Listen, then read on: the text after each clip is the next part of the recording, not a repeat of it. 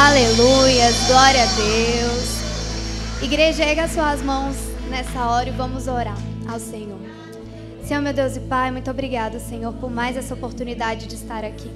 Obrigado, Senhor, pelo fôlego de vida. Obrigado porque sabemos que o Senhor tem provido todas as coisas, o Senhor tem suprido as nossas vidas, os nossos lares e somos gratos a Ti, Senhor.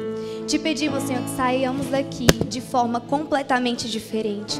Que aqueles que chegaram enfermos saiam daqui curados, que aqueles que chegaram abatidos saiam daqui renovados, que aqueles que chegaram aqui preocupados, ansiosos, aflitos, saiam daqui, Senhor, repleto da tua paz, do teu amor e da tua presença.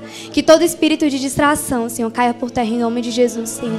Que tudo aquilo que venha tirar o nosso foco de ti caia por terra em nome de Jesus, Senhor. Usa, Senhor, os seus filhos aqui através do louvor, através da palavra, Senhor. Que possamos receber mais de Ti nessa noite, Senhor. Mas que também possamos prestar a Ti o nosso culto com o nosso melhor, com tudo que temos e tudo que somos. Em nome de Jesus. Amém. Pode se assentar. Ai.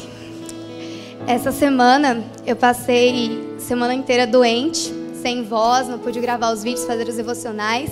E por que, que eu estou falando isso? Porque, independente das circunstâncias que a gente vive, do momento que a gente vive, a gente deve louvar a Deus em todo o tempo.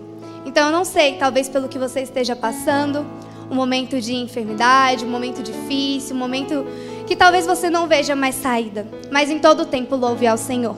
Porque como cantamos aqui nessa noite, Deus é fiel em todo tempo. E se Ele é fiel em todo tempo, nós vamos louvar a Ele em todo tempo. Quantos aqui vieram para louvar a Deus hoje? Glória a Deus, aleluia. Nessa noite eu gostaria de conhecer você que está nos visitando pela primeira, segunda, terceira vez, puder dar um sinal assim com a sua mão.